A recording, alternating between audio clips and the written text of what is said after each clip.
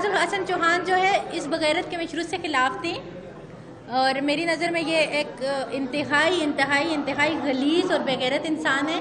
और इसकी बेगैरती को मैं बहुत पहले बेनकाब कर चुकी थी और अभी लौटा होकर फिर रहे थाईलैंड, मौलाना साहब मेरे ख्याल में जो उनको चंदा जक़ात वगैरह इकट्ठी हुई होगी, उन्होंने कहा, चले, वहाँ पे जाके स्पेंड करके आ जाता टाइम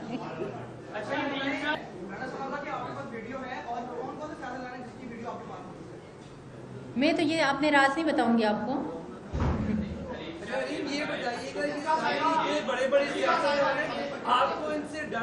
नहीं नहीं नहीं नहीं नहीं नहीं नहीं नहीं नहीं डर डर मुझे डर मुझे किसी से नहीं लगता यार। डर नहीं लगता।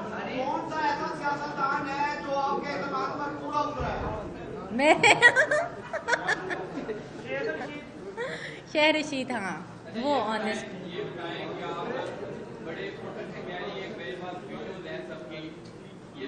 आप जो बनाती है किस मकसद के लिए बनाती है क्या आपका एजेंडा है इस वीडियो को बना के और आप बड़ा प्राउड फील कर रही हैं हाँ ये वीडियो है मेरे पास मैं प्राउड फील कर रही हूँ। अभी भी इतने सारे लोगों में बैठ के मैं प्राउड फील कर रही हूँ तो मुझे प्राउड है। मैं तो सिर्फ़ और सिर्फ़ आप लोगों को बताना चाहती हूँ कि जिन लोगों को आप इस माशरे का आप समझ रहे हो कि ये लोग पाकिस्तान को चला रहे हैं, ये पाकिस्तान के लिए कोई अहम किरदार अदा कर रहे हैं और इनका पाकिस्तान की को चलाने में आ रहा है तो कुछ भी नहीं है। ये सिर्फ़ सिर्फ़ और सिर्फ़ सारे के सारे डर्टी लोग हैं। इन लोगों पर बिलीव करना, इन लोगों को रिस्पेक्ट देना, ये मेरे ख्याल में बहुत बुरी बात है। कैसे लोगों को आप रिस्पेक्ट करते हैं?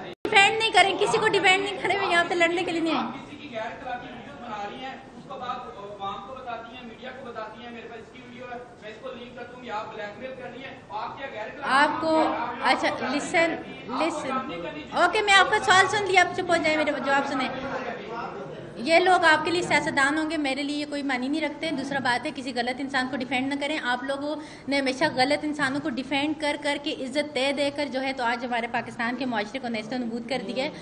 और प्लीज़ मत डिफेंड किया करें। अगर उनकी सियासत या उनकी कुर्सी या उनका वो, जो है तो उनके पीछे कितनी गलाजत और कितना कुछ गंद है, ये आप लोगों को नहीं पता। जब शायद आप लोगों को भी पता चले तो आप इन लोगों से कितना मुतनफर हो। मुझे कोई मुझे कोई स्ट्रगल नहीं करनी पड़ती। आमद आमद है और इस बात पे किस जानवर की आप कुर्बानी करेंगी और साथ साथ ये भी बता दें किसी बंदे की कुर्बानी तो नहीं कर देने जा रही है। नहीं ऐसे गलीज बंदों को मैं अल्लाह के राह में कुर्बान क्यों करूँ? मैं तो कुर्बानी कुर्बानी का मतलब क्या है? मकसद क्या है? कुर्बान की की क्यों जाती है? तो कुर्बानी